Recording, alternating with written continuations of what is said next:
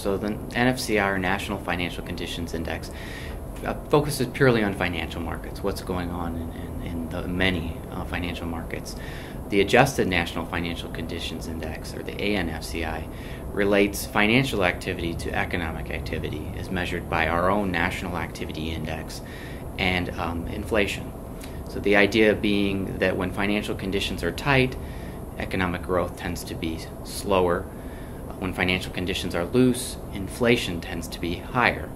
So by relating the two uh, with each other, we can come up with kind of a composite measure that tells us where financial conditions stand in relation to economic growth and inflation. That's what we call the ANFCI.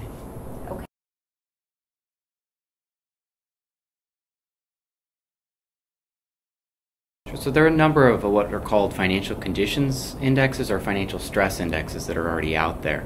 Um, several of them have very short time spans. Our index goes all the way back to 1973, so we have a broad historical coverage. Uh, many of them only cover a few financial markets, uh, just looking at a few financial indicators. We have over 100 financial indicators in our index covering a broad array of financial markets.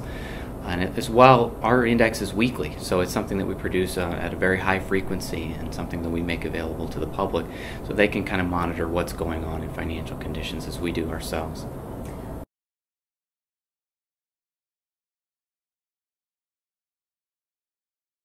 The reason for our weekly release is that we believe uh, it helps us to uh, get a real time sense of what's going on in financial markets. So, financial markets uh, move very quickly, uh, they're very volatile. So, get, getting a, a, higher frequency gauge of what's going on in financial markets is very helpful uh, in terms of monitoring financial stability and also forecasting uh, economic growth, for instance, because uh, measures of economic activity they tend to be at a lower frequency and measured less often. Financial markets react much more quickly and have a forward-looking sense of what's going on in the economy. So measuring that at a weekly frequency gives us a better idea of what's going on currently, both in financial markets and in the broader economy.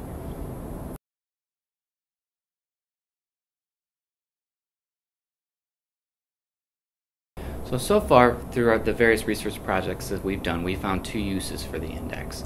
The first being a real time monitor of financial stability. So, when the National Financial Conditions Index tends to be positive or well above zero, uh, that tends to be a sign of stress in financial markets. So, we can use this measure as a way of kind of keeping track of what's going on in a broad array of financial markets. The second way in which we found the index to be useful is forecasting future rates of economic growth.